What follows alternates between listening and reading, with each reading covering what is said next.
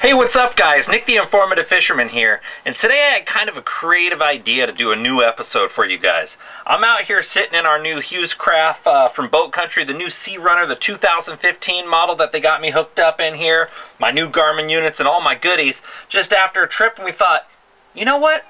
Why don't we ever take viewer call-in questions? So instead of going through my voicemail process and getting transferred over to me, I'm going to post on my Facebook right now to have viewers call me up and I'm going to answer their questions for you guys and hopefully you can pick up a lot of uh, extra insight from the questions they that might ask me. So I'm going to go ahead and post this right now and let's take some calls. Posted. Woo! Don't Okay, hang on, boy. That's a big one. Big boy. Holy. Formative fisherman, this is Nick. Hey, Nick, this is Ivan from Stockton. Hey, Ivan. How How, you? how's it going, man? Not too bad, not too bad. So I've been watching your videos here for quite a few uh, weeks here, uh, going on actually months. Nice. And, uh, you know, trying to get some, uh, I'm, I'm trying to get into bass fishing. Mhm. And uh, I just recently became a boat owner here in the last uh, year, and uh, I don't have a, a, you know, an actual bass fishing boat. So I was wondering if you had any pointers on, you know, somebody who's new at, uh, you know, attempting bass fishing, and uh, especially in the California Delta where the current, you know, is always pulling you away. Right. Without having a trolling motor, you know, some of the tips on, on being able to hit those areas, you know, especially with, you know, with low water levels. So basically, what you're going to be stuck to is spot fishing. So you can't really move down the bank much without a trolling motor. What you can do is you can actually get back into the sloughs, for example, like uh, 14 Mile Slough or Disappointment Slough, where there's a lot of flats. The water in those flats ranges from you know three to four feet deep. And the benefit to not having a trolling motor, well, not a benefit, I would say one of the things you can do without having a trolling motor is you can drift across these flats and you can throw topwater baits like buzz baits or you can even cast swim baits because a lot of the time, this time of year in the fall, the shad are going to be moving up onto those flats to feed. The bass and the stripers will be chasing them on the flats. So you can cast like uh, five or six inch kicker minnow swim baits on little jig heads. Um, you can also work uh, buzz baits on top. You can work prop baits.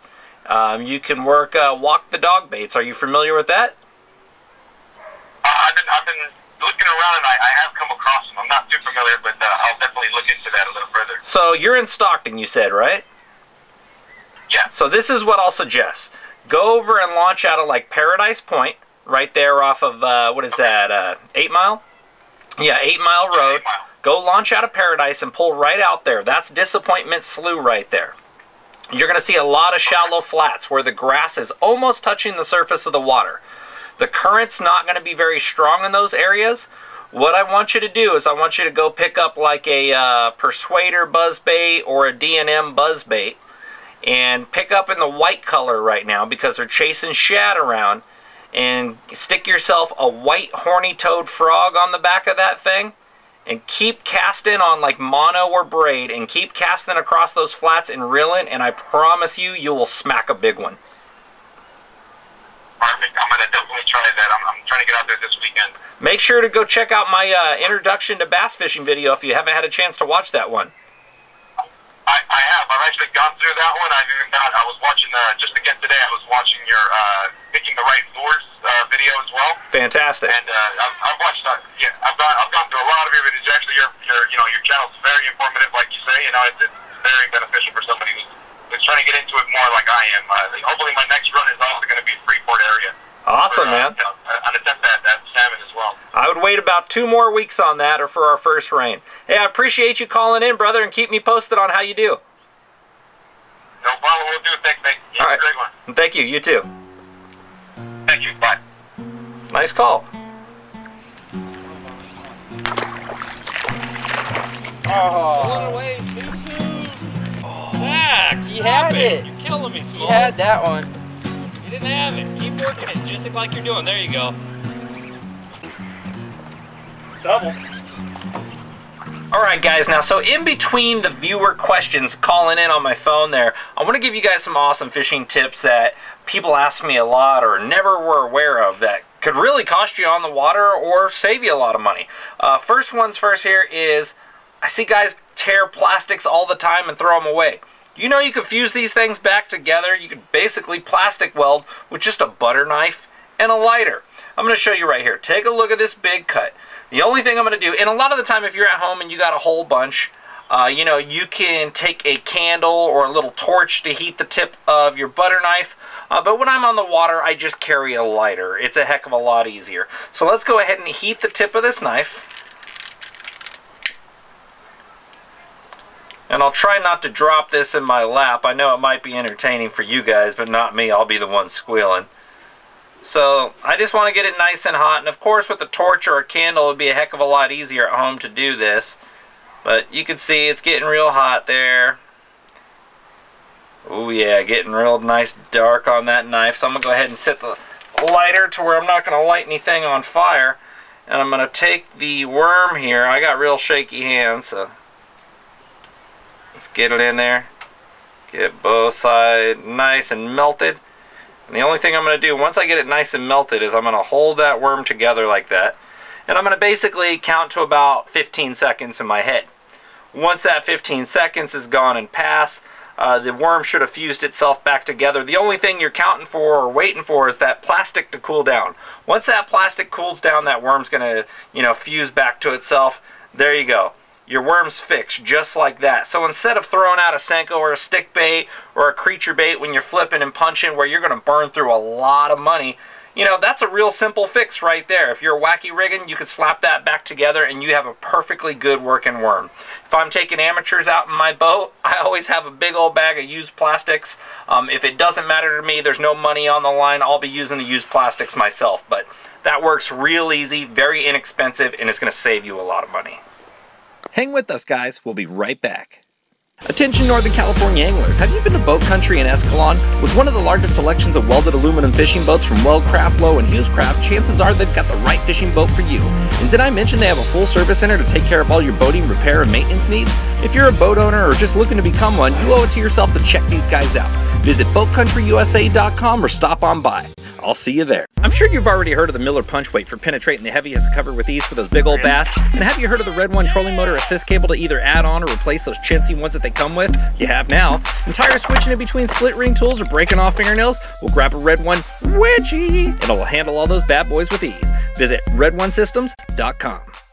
Did you know that P-Line makes specialized lines for all your fishing needs from the super strong abrasive resistant CXX or the low stretch super stealthy CX Premium?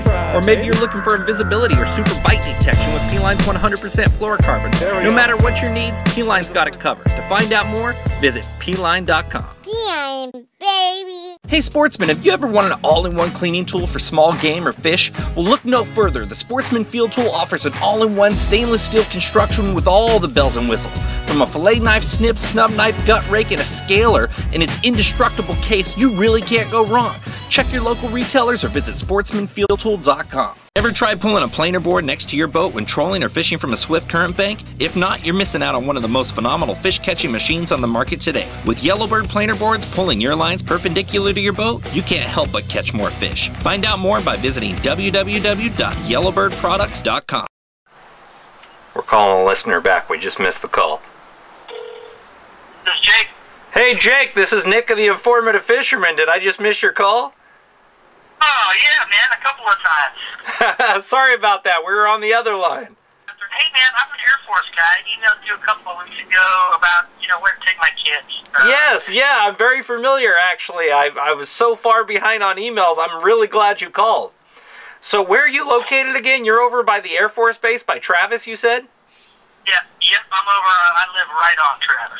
I'm trying to think what the nearest lake is for you guys over here, because uh, this time of year the bait fish start schooling up pretty thick in all the lakes, and uh, a lot of the time that'll conjugate conjugate a lot of the panfish into the certain coves and around the marinas. So where where do you like to go out? Well, I've been, I probably most often I've launched now at Rio Vista um, at the Sandy Beach uh, Mhm. launch there. Okay, ha- have you guys tried bait fishing for the stripers? I have. I've tried bait fishing for the striper in the Suisun, uh, like in the sloughs a little bit, and uh, Uh huh. I haven't I haven't tried bait fishing out of Rio Vista yet. I've been down there trying to catch salmon. Um, Ah, but uh, yeah. If you bait, Yeah, if you anybody- bait, if you bait fish for the stripers right now, you should knock them dead. There's a ton of them over there. You you just probably need to watch my video on bait cast, uh, bait dunking for Delta stripers, where I show the brain rig with the chicken liver. Are you familiar with that one? yep, yep, watched that one a couple of times. If So, you, if you go out there and do that this time of year, you should knock the stripers dead. Um, the one thing you really Okay. want to do if you take the kids out with you, because Rio Vista can get real windy this time of year, is tr- Uh-huh. try to either take them up more towards Liberty Island where you get a lot more of the wind breaks, and you can get out of that rougher water. sweet, right off all that Liberty Island stuff over there, huh? You got it. Even the Rio Vista area where the power lines are right there is usually really good, but the wind can pick up fast. So try to treat Liberty Island area as a nice fallback. I'll try that. I'm gonna go. I'm trying salmon fishing again this weekend, taking one of my boys out. The other kids have got plans, but um, Well, there you go. we'll we'll try. Well, I need some result pictures, so make sure you send me some results. Dude, I totally will. If I get anything, I watch just about every video on your uh, on your channel. Hey, that brings up another question for you, man. I got a suggestion for you. Sure. I don't know if you're open to suggestions. I, I'm always open to suggestions. Have you ever thought about making an app? We're actually in the we're in the process of making the app, and that's for everybody else watching right now. If you stay up to date on informativefisherman.com, you can guys you guys can actually sign up to be the beta testers for Ask If. And if you're familiar with iPhones with Siri, where you can ask her questions, Ask If is going to be me answering your questions, but in fishing video related. So you ask the question, and it'll populate the video for you. Yeah, yeah. I'm, uh, I'll try bait fishing on Saturday if that uh, if salmon don't play right for us. So Well, awesome. You got to let me know how it goes. thanks, man. All right. All right. nice talking to you. Okay, now one of the more common things that I'm hearing with bass fishermen who are punching or heavy flipping or frog fishing with braid is that they find that they're breaking 50 and 65 pound line and they can't figure figure out what that is. If you hop on fishing forums, you're going to see a million different things about um, it's your tungsten weight breaking it, and yeah, that can happen. But most tungsten weights on the market today, the guys have them polished out or have sleeve inserts. What's actually happening more often than not is the way you set the hook, okay? Or guys, a lot of guys in bass fishing, they have their drag cranked all the way down. We forget a lot of the time when we're flipping or punching in bass fishing that drag still can be utilized. And with our braided lines, we do need to use it. So what happens is guys are cracking the whip. And when I say that, let's say I flipped out there and I had a little bit of slack in my line and I, I felt the boonk and then I just, uh, and that slack, bam, cracked the whip. This is 50 pound braid I have on here, okay? And braid knots is where they break. The knot of the braid will break or it'll slip through. So I'll tell you how to prevent that in a second. So 50 pound braid, 20% is around your breaking strength of your knot for your braid. So you take 50 pound braid, let's just call it, um, you know, 35, 40 pounds of pressure that it's going to take to break this 50 pound braid on a hook set. If you just go like that, that is a heck of a lot of pressure, okay? And you don't think cracking the whip on a fish is going to get that line to break? Uh, sure it is. You got a fish that's pulling the opposite direction. You got forceful mats under there. You got a short line. You have zero stretch. You can easily cause that amount of pressure and get that braid to break. And I'll tell you why this stands true. A lot of the time, if you hang up your bait in a mat or on a tree limb and you start pulling that braid, you can pull like mad. You can pull with 50 pounds of pressure and this thing's not going to break because it's not an impact. An impact is way harder. If you slowly come up to hit your head on something, it doesn't hurt, does it? But if you stand right up, it makes a heck of an impact. That's because you're throwing your weight into the object. So instead of cracking the whip, if you see the frog blow up, reel down to where you feel him and pull back. Pull tight. Just uh, lean into him. Lean, turn your body and lean into him instead of cracking the whip on that fish.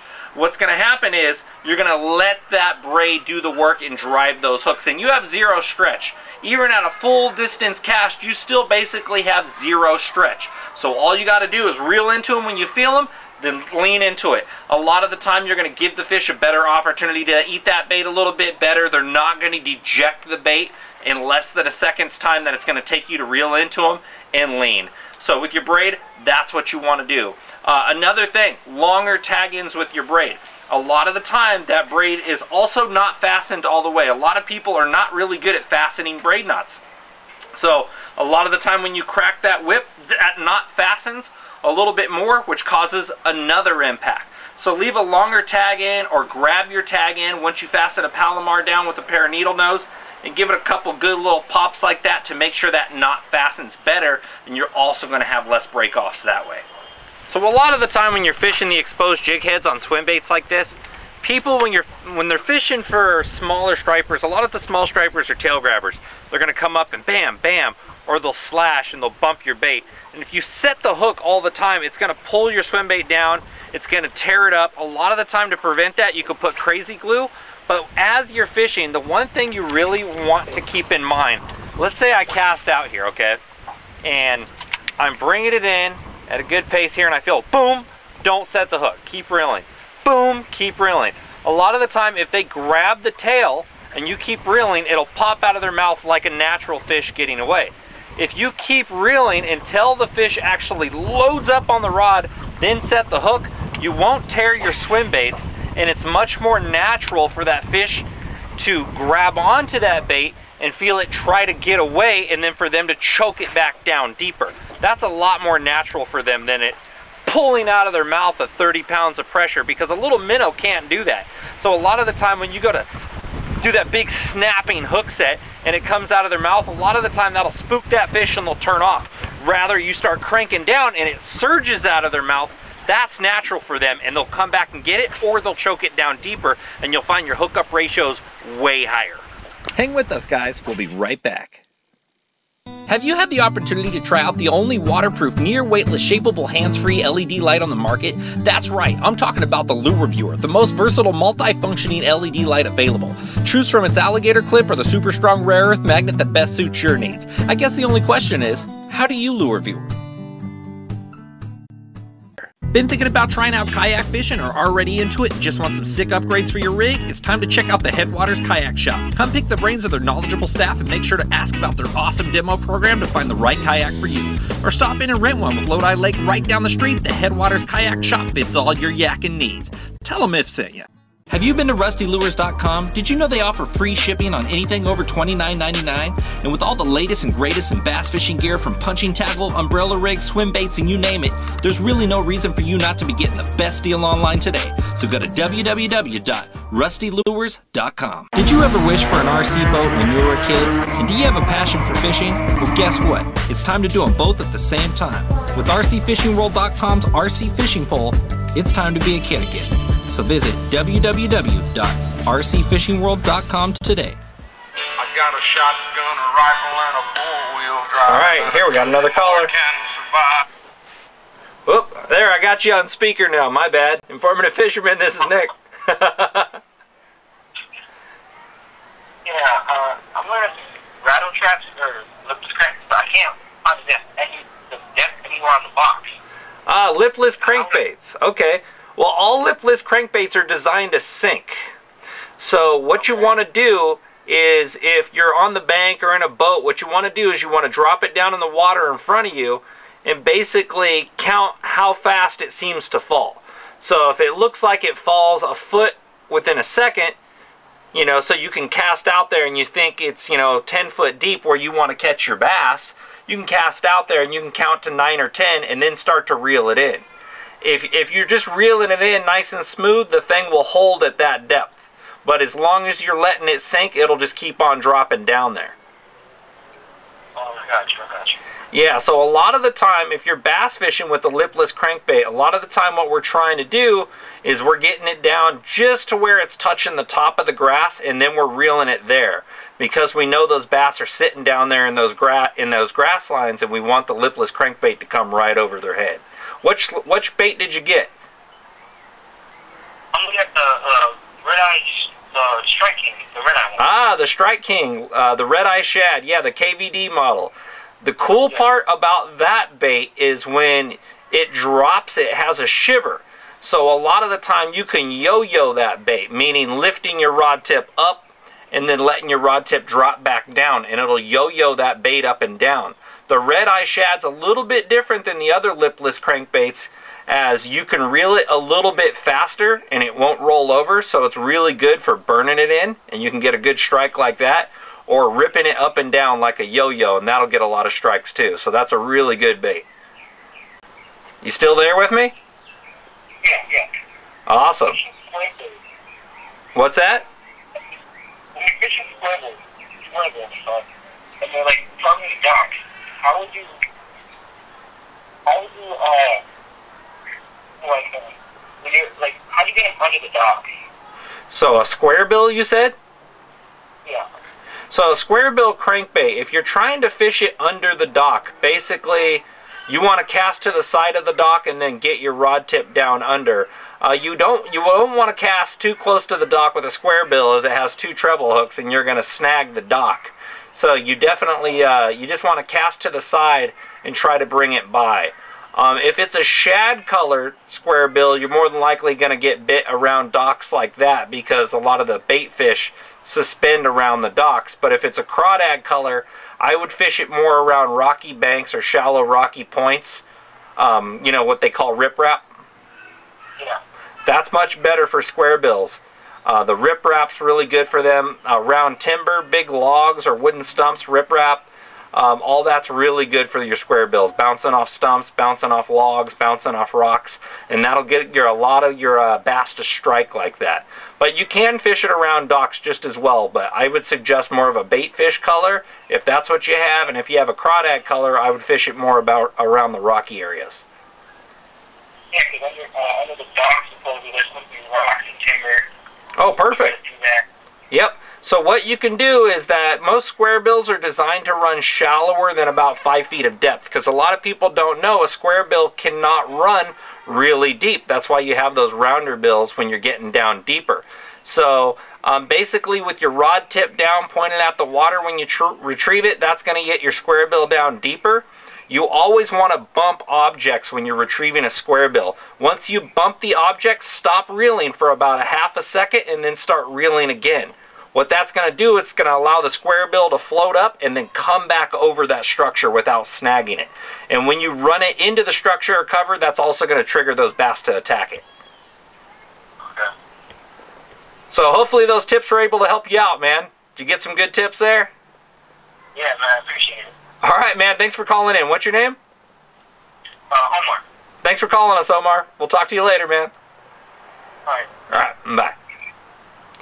Well, that was pretty awesome of the callers to call me in. Uh, you know, I didn't have much time to uh, take calls today, but hopefully, if you guys like this, we'll do this a whole lot more often. Uh, make sure to go to informativefisherman.com and join my emailing list. That case, if a new episode comes out, it'll go directly to your inbox. Um, subscribe to the show, guys, here on YouTube. Hope you guys appreciate this film. I'm going to do a whole lot more for you. We got another salmon jigging episode coming up, a whole lot of steelhead episodes, a lot of crazy things to come on the show. So I appreciate you guys watching. Best of fishing.